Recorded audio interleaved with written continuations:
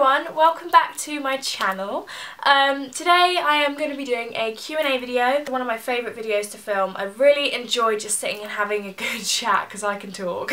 I set to Instagram as I always do and I said if you have any questions leave them down below and you left quite a few questions down below so I'm going to get started and answer some of them for you. Underscore Soft Gale says, how do you balance schoolwork and YouTube? Um, I don't.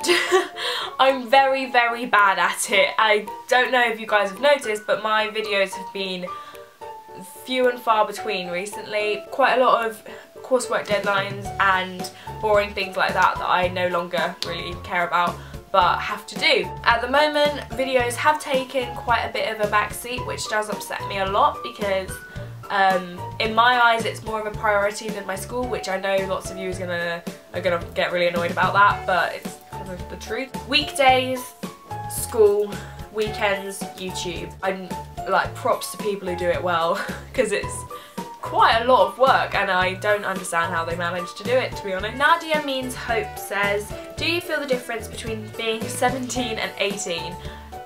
Um, I'm gonna be completely honest, no, not so much. I'm technically now an adult, um, which is absolutely terrifying and I feel completely not ready to be classed as an adult, but you know, whatever. Apart from obviously if I break the law, I'll be charged as an adult rather than a child, which is, you know, forefront of my mind if I... I'm joking. I don't know, not much has really changed. I'm still very much the same person. I'm just... I was a day older from being 17 to 18. It was a day's difference. So not all that much changed to be honest over overnight. But it's cool. I like to be able to say like, oh I'm 18 rather than I'm 17 because it's a bit of an awkward age to be honest. Lou.c.ia, so Lucia? Lucia? Lucia I think? Do you think you would survive a zombie apocalypse? Why or why not? Um, I don't really know actually.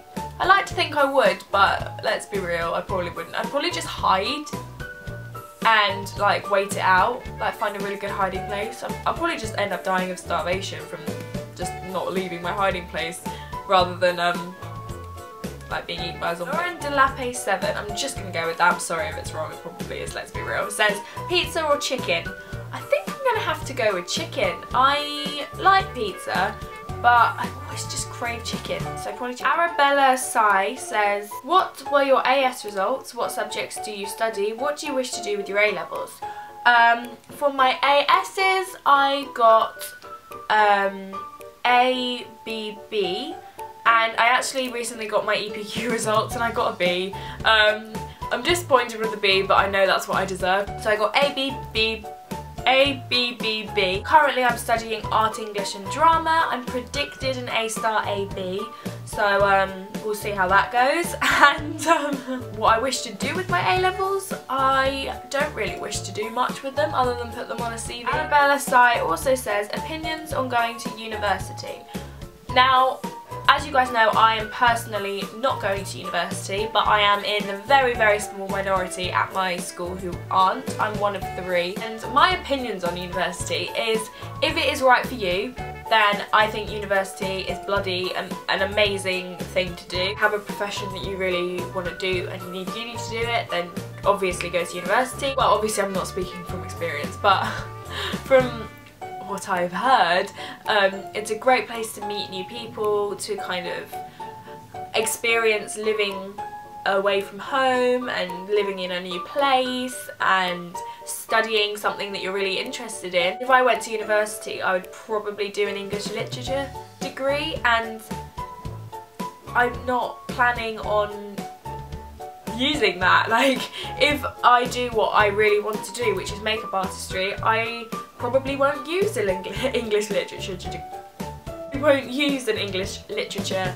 degree, I can't speak today. So I just feel I'd like to go to the University of Life and just throw myself in the deep end because why not? Um, it's quite scary. Even now I feel like I'm just so ready to get into the big wide world and start working that um, I feel like I couldn't hold off another three years. Like even doing A levels is starting to really drag. Like I just don't want to be in education anymore. Just, just enjoy the experience. Sammy Riverroll? I'm sorry if that's completely wrong. Says, um, I struggle with bulimia and you've been such an inspiration for me. I'm from Mexico. Hello, Mexico. Um, how do you manage to keep a positive attitude when every day we get bombarded with images and ideas of what beautiful means?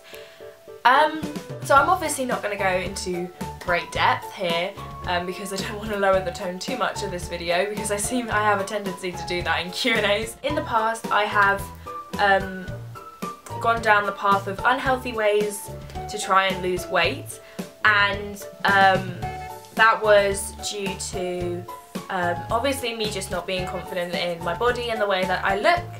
Um, I have done a whole video on body image and I've touched on it on another Q&A so I'll link both of those down below. I do feel that there is a lacking of diversity in the media, in modelling, in fashion um, and I feel like, um, oh god I don't, want to say this eloquently. I don't just want to repeat everything I said in that video, but the way that I keep positive and um, keep my confidence up and stay motivated, dressing how I like, wearing what I want, saying, you know, fuck it, like this is how I look and that's okay, I'm fine, I'm a good person, doesn't matter, being with the people who make me feel beautiful and who love me no matter how I look because it shouldn't matter and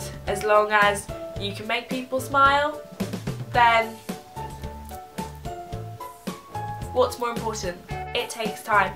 It takes supportive people around you. If you are struggling with something as serious as bulimia is an awful awful place to be in and I completely completely sympathise with you you need to not punish yourself for how you look. You need to not feel like you're not good enough. Everybody looks different.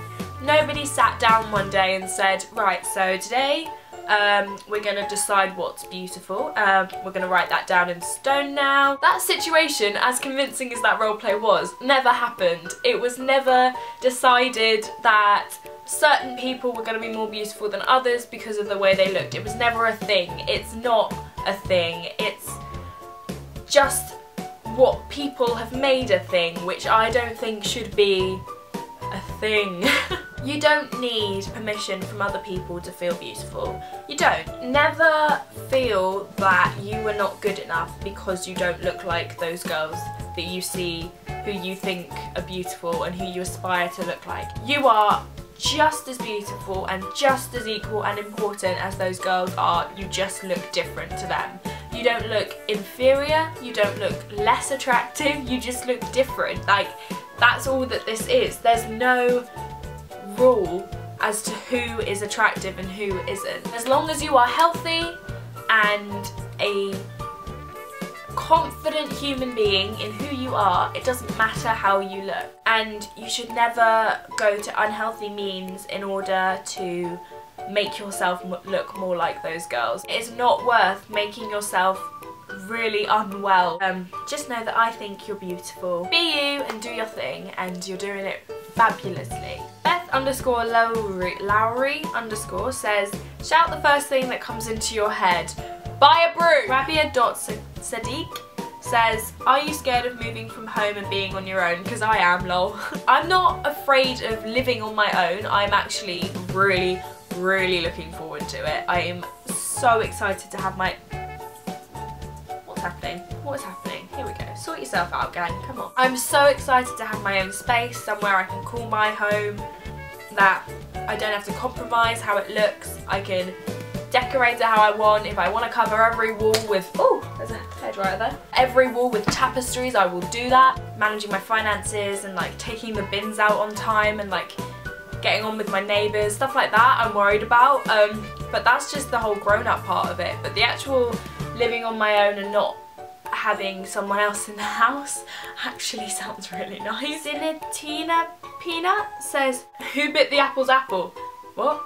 Who bit the apple apple? Apple apple. Who bit the apple's Who bit what? Who bit the apple's apple? Please let me know, lol. I don't know, probably someone like I just did. Kizzy Fraser says, where did you get your jumper from? Your mom's chest hair! I think those are all the questions I have time to answer right now because I don't want this video to get too long. Um, I hope you guys enjoyed this video. If you guys want to see more Q&As then leave a question down below in a comment and I will come back to these when I film the next one and answer those. I also ask for questions on Instagram nearer to the time so go follow me on there if you want to be involved in my next Q&A video which will probably be in about a month's time. Also my Facebook and my Twitter are linked down below too so go follow me on those. Um, I hope you enjoyed this video and I hope you have a really really really great day and I'll see you in my next video. Goodbye!